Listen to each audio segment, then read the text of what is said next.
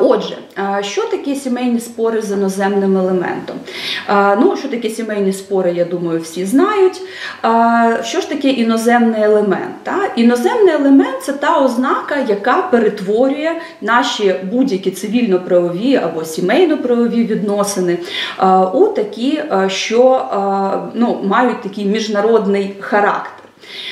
Це коли може бути застосовано закон України про міжнародне приватне право і е, можуть вважатися правовідносини такими, що мають іноземний елемент. По-перше, коли хоча б один учасник правовідносин є громадянином України, який проживає за межами України, якщо він є іноземцем, особою без громадянства або ж іноземною юридичною особою, що нас е, трошки менше останніх е, цікавить, так нас більше цікавлять фізичні особи у контексті у контексті сімейних правовідносин.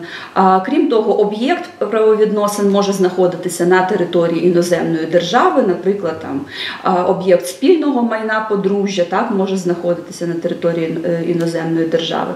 Юридичний факт, який створює, змінює або припиняє правовідносини, мав чи має місце на території іноземної держави. Ну, наприклад, що це може бути укладення шлюбу, розірвання шлюбу, проживання подружжя, тобто все, е, все що завгодно. Якщо у нас е, один або кілька таких іноземних елементів присутні у правовідносинах, е, це означає, що до них може бути застосований український закон про міжнародне приватне право. Якщо ж таких елементів у нас жодного немає, то ми не можемо говорити про сімейні правовідносини з іноземним елементом і відповідно про застосування закону України про міжнародне приватне право.